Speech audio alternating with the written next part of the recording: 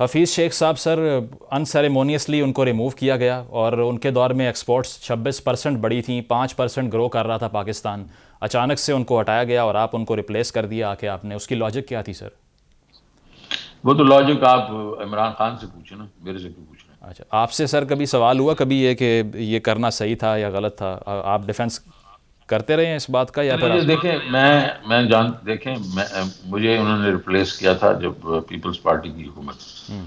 और मैं जब छोड़ के गया था तो वो आगे फाइनेंस मिनिस्टर बने हम्म। अभी मैंने उनको रिप्लेस किया ना उन्होंने उस वक्त पूछा था और ना मैंने उनसे इस दफ़ा पूछा कि क्या अच्छा। बात है